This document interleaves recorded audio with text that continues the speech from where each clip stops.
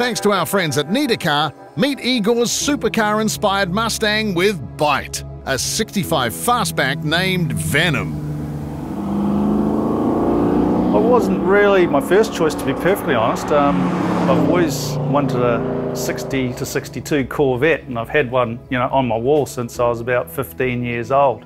Uh, so it's just a case of circumstance that uh, a Mustang happened to turn up, and really it's going back to my childhood when I was about eight or nine years old.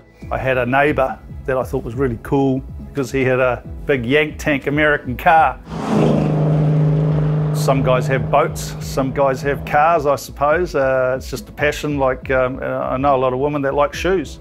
Um, so it's just one of those things. I happen to like cars. That love of the motor vehicle has long played a lead role in Igor's life, even at one point owning his own toy shop, Hollywood Cars, an Auckland business specialising in vehicles out of the ordinary. So when Igor decided he needed a classic in his life, an innocent looking 65 Mustang would enter the frame, albeit its appeal not for the reason you might expect. Price to start with, um, yeah, I thought, oh, wow, what a bargain, better go and buy that. And so, so I did. And uh, unfortunately, when I started taking it apart, it was uh, one of those ones that was covered in rust. And so uh, the project that was meant to just be a little bit of a do up uh, ended up completely stripping the car. I didn't want just a bog job. Unfortunately, the first guys that took it on did actually bog it, and uh, so we had to start all over again. Uh, once again, stripped it again and took all the bog out and uh, replaced the rust that was still there. Enter Matamata Panel Works, a business world renowned for handcrafting elite level cars. They're no one trick pony, but much of their success can be attributed to their obsessive and all steel approach to Ford's Mustang. Malcolm and his team would then make the perfect match for the standard of work Igor was looking to achieve, but neither party were in any doubt. That level of finish takes time and money. You probably have to have more dollars and cents actually, um, if you're going to start a project like that. So, uh, yeah, it was just, just happened to, to be at the stage of my life where, where I could afford to do so. And once you start, really, you can't finish. Uh, I'm a bit of a perfectionist, so you know I wanted the best, so I went to see the best. Although to begin with, Igor wasn't looking for a turnkey car. I saw a bumper that they did on another 65 Mustang, and I rang uh, Malcolm up and said, "Hey, I like the look of that bumper. You know, can I can I have that bumper?" And uh, it was like, "No, you can't, but you can have one similar because we don't do the same design for every car that we do." all sounded nice. So once I'd done the bumper, it's like, oh, well, maybe let's do the rear bumper as well. And from the rear bumper, you start doing the sides. Um, you know, the guards over here, they're, they're all hand fabricated. You know, it's tap, tap, tap. To get professionals like that working on your car, it costs a dollar, but you know, the end product is what you see. Wheels were in motion and the challenge was set. Igor wouldn't settle for the second best car Matamata Panelworks had built. This one had to raise the bar. Taking inspiration from the Ferrari F430 in Igor's garage, the Detroit pony car would imitate the Italian's aerodynamic vents on its flanks, while the lines of that custom front bumper flow onto the integrated side skirts and rear bumper. The 19 by 9 and 19 by 12 inch wheels dictated the overall width of the flared guards. Everything, and we mean everything, has been handcrafted for this one-off vehicle. And there's no fiberglass here. Matamata Panelworks' currency of choice is steel.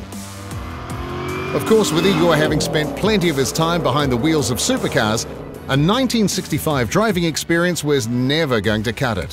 427 cubes of Roush's finest was numbers matched to the body, topped with a stack-injected EFI and backed by a Tremec TKO 600 5-speed, the package is good for a very drivable 560 horses. And yes, as good as Venom looks under the bright lights of a show hall, like its award winning unveil at the Teng Tools Grand National Rod and Custom Show, this is a car built to drive, with most of the good bits of the RRS catalogue thrown at it, including their Phase 6 front suspension, coilovers, GT rack and pinion steering, 3 link rear end, and braking package. But for a vehicle with so little factory Ford left in it, it was important that this hugely modified Mustang was still recognizable as just that a Mustang. I wanted people to still look at the car and think, oh, that's an old Mustang. And I wanted it to sound like an old Mustang as well. So when you wind down the window and you put your arm out the window, you know, and people hear that V8 roaring past, they know, oh, that's that's an old muscle car, and that's that's what I wanted. It might have begun in unfortunate circumstances, the purchase of a rusty 65 Mustang that would inadvertently kick off a six year build of one of New Zealand's most elite custom cars. But the result is a vehicle that achieves everything Igor and the Matamata Panelworks team set out to do. And chances are, it might not be the last time this owner builder combo have a good look at where the bar sits and think they might just raise it another notch or two. Oh, it's kind of a weird feeling actually. You want it to keep going in a way. You want it to stop because it takes so long, but then once you have finished, it's like, oh, what do I do now? You know, the artist in me um, had that project going on for five or six years, and I was able to, you know, paint my picture per se. And uh, now that it's finished, it's like, oh, what do I do now?